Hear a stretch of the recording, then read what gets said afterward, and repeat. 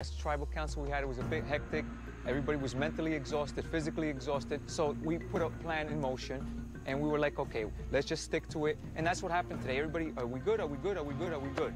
Everybody said yes, yes, yes, yes. And we took it easy for today. Sarah, what's brilliant about that is that the game level is so high that you've now convinced each other that everybody's good. Yeah, I mean, it's like mass psychological warfare going on.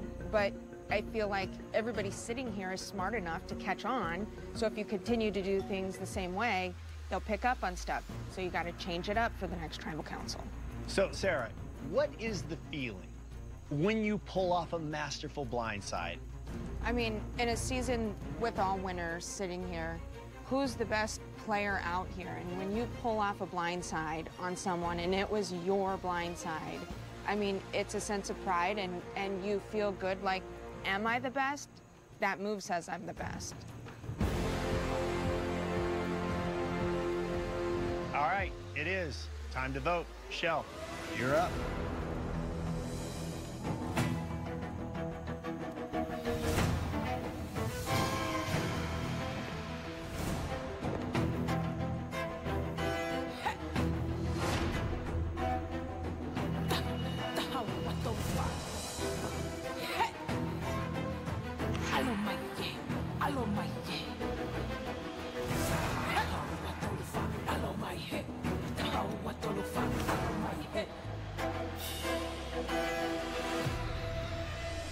I'll go tally the votes.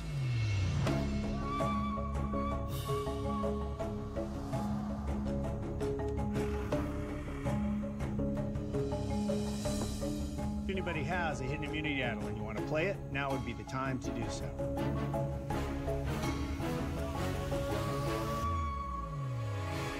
Okay, I'll read the votes.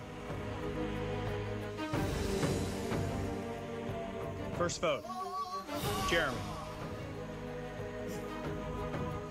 Michelle. Jeremy. Michelle, we're tied. Two votes Jeremy, two votes Michelle. Jeremy, that's three votes Jeremy. Sophie.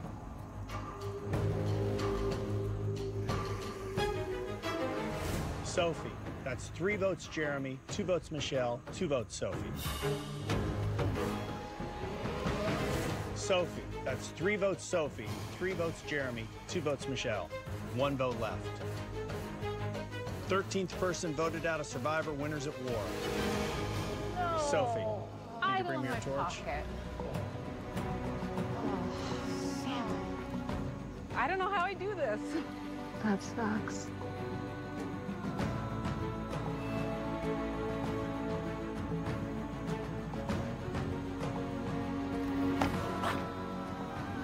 Clumsy this. Sophie, Travis spoke. Okay. Good job, guys. I did not see it coming. Love you so. I'm gonna take the idol out of my crotch now.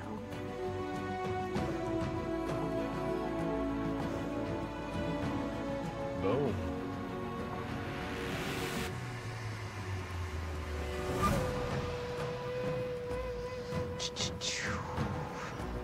Four votes.